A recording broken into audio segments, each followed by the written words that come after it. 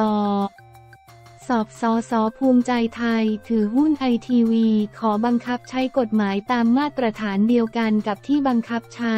นายพิธาวันที่ 18 กรกฎาคม 66 กรณีปปชเปิดเผยบัญชีแสดงรายการทรัพย์สินและหนี้สินของ นายจักริดทองศรีสสเขตเจ็ดบุรีรัมย์พักภูมิใจไทย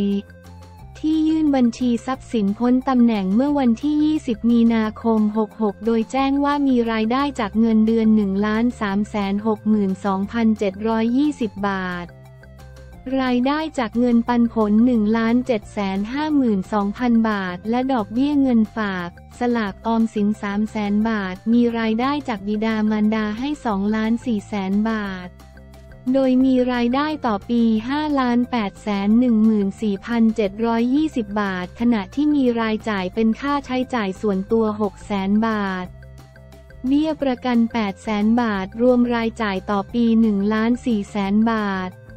ทั้งนี้มีทรัพย์สิน 80 ล้าน 31,205 บาท 91 สตางค์แบ่งเป็นเงินฝาก 32 ล้าน 211,174 บาท 35 สตางค์เงินลงทุน 16 ล้าน 632,000.00 บาทที่ดิน 7 ล้าน 6 แสนบาท โรงเรือนและสิ่งปลูกสร้าง 12 ล้าน5แสนบาท ยานพาหนะ5ล้าน3แสนบาท สิทธิและสัมปทาน5ล้าน7แสน88,031 บาท 56 สตางค์ โดยคู่สมรสมีทรัพย์สิน 4,178,135.44 และบุตรมีทรัพย์สิน 217,971 บาท รวม 84,427,312.38 ขณะที่ทรัพย์สินอื่น ๆ ที่น่าสนใจ พบมีเงินลงทุนหุ้นไอทีวีจำนวน 40,000 หุ้นมูลค่า 0.00 เป็นของผู้ยื่นเองและหุ้น TF จำนวน 41 ล้าน 580,000 มูลค่า 16 ล้าน 632,000 เป็นของผู้ยื่นนอกจากนี้ยังมีโฉนดที่ดินในจังหวัดบุรีรัมย์และนนทบุรีอีก 3 ฉบับ และบ้านย่านนนทบุรีและกรุงเทพมหานครอีกอย่างละแห่งล่าสุด นายพัทรพงศ์สุภักษรหรือทนายอันโพสต์เฟซบุ๊กระบุว่าภายในวันที่ 20 กรกฎาคม 66 จะยื่นหนังสือต่อกกต เพื่อขอให้ตรวจสอบกรณีการถือครองหุ้นสื่อไอทีวี ของนายจักริดทองศรีสสพักภูมิใจไทยบุรีรัมย์เพื่อขอให้กกตส่งเรื่องให้สารรัฐธรรมนูญตีความว่าขาดคุณสมบัติการรับสมัครเป็นสสตามรัฐธรรมนูญมาตรา 98 3. ส่งผลทำให้สิ้นสุดสมาชิกภาพความเป็นสสตามมาตรา 101 6 หรือไม่ ให้กกตส่งเรื่องไปยังสารรัฐธรรมนูญ โดยไม่จำต้องแจ้งข้อกล่าวหาไม่ต้องทำการไต่สวนสืบสวนหรือชี้แจงข้อกล่าวหาแต่อย่างใด ขอให้กกตบังคับใช้กฎหมายตามมาตรฐานเดียวกันกับที่บังคับใช้นายพิธาลิ้มเจริญรัตต่อไป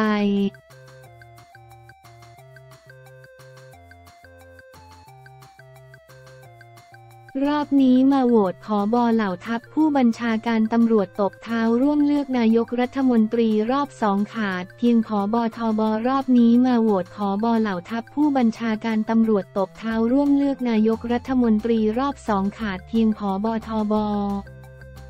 ติดราชการประเทศอินโดนีเซียมีกำหนดการเดินทางไว้ล่วงหน้าอยู่แล้ว เมื่อวันที่ 18 กรกฎาคม 66 ผู้สื่อข่าวรายงานว่าผู้บัญชาการเหล่าทัพเตรียมเข้าร่วมประชุมรัฐสภาในฐานะสมาชิกวุฒิสภา สว ในการเลือกนายกรัฐมนตรีในวันที่ 19 กรกฎาคม 66 อย่างพร้อมเพรียงกัน โดยพลเอกสนิทชนกสังขจันทร์ปลัดกระทรวงกลาโหมพลเอกเฉลิมพลศรีสวัสดิ์ผู้บัญชาการทหารสูงสุด ขอบอทสสพลเรือเอกเชิงชายชมเชิงแพทย์ ผู้บัญชาการทหารเรือ ขอบอทรพลอากาศเอกอลงกรวรรณรสผู้บัญชาการทหารอากาศ ผู้บัญชาการทหารอากาศพลตำรวจเอกดำรงศักดิ์กิจประพัฒผู้บัญชาการตำรวจแห่งชาติ ผู้บัญชาการตำรวจขาดเพียงพลเอกนรงพันธ์จิตแก้วแท้ ผู้บัญชาการทหารบกผอบอทบลาการประชุม เดินทางไปราชการที่ประเทศอินโดนีเซีย ซึ่งมีกำหนดการเดินทางไว้ล่วงหน้าอยู่แล้ว อย่างไรก็ตามในการโหวตเลือกนายกรัฐมนตรีครั้งแรก วันที่ 13 กรกฎาคม 66 ปลัดกระทรวงกลาโหมและผู้บัญชาการเหล่าทัพ ได้ลาประชุมต่อประธานวุฒิสภาด้วยเหตุผลติดภารกิจที่มีกำหนดการเดินทางไปต่างจังหวัดและต่างประเทศอยู่แล้ว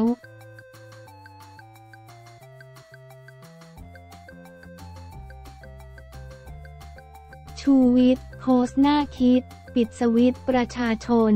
MOU แค่ละครเตรียมพลิกขั้วมียุบพักแน่ ชูวิทย์โพสต์หน้าคิด ปิดสวิตประชาชน MOU แค่ละครเตรียมพลิกขั้วพอทอพอปชร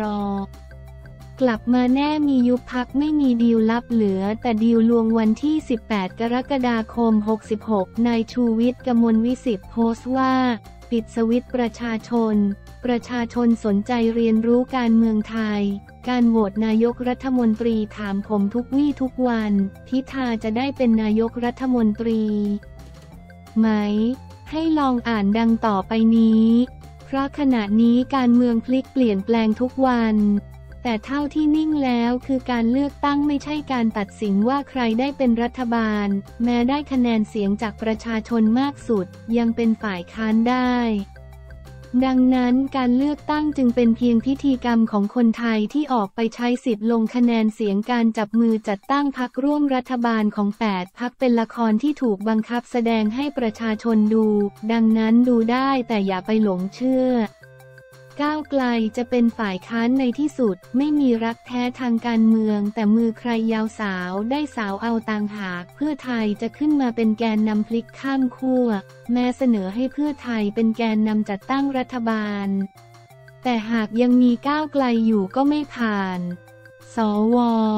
ชีวิตจริงต้องดูกันยาวๆ ไม่ใช่หนังตลก มีการจัดเตรียมสลับพลิกขั้วรัฐบาลโดยเพื่อไทยเป็นแกนนำ และประสบความสำเร็จโดยผ่านเสียงสว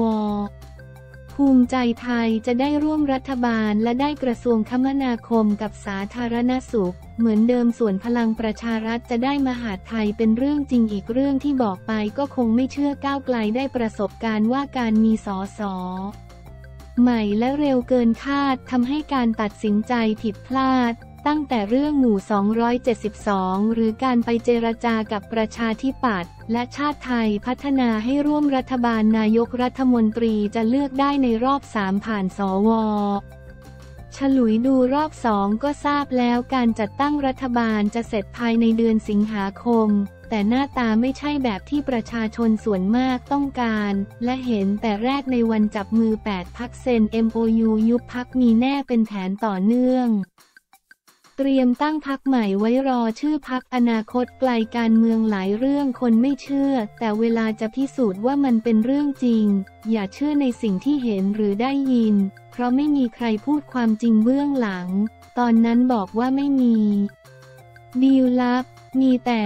ดีลรัก แต่ตอนนี้กลายเป็นดีลลวง ไปแล้วผมพูดไปไม่มีวัตถุประสงค์เชียร์หรือทำลายใคร แต่ต้องการให้ประชาชนรู้เท่าทันการเมือง แม้ว่าเบื้องหลังบางอย่างผมจะไม่สามารถพูดได้หมด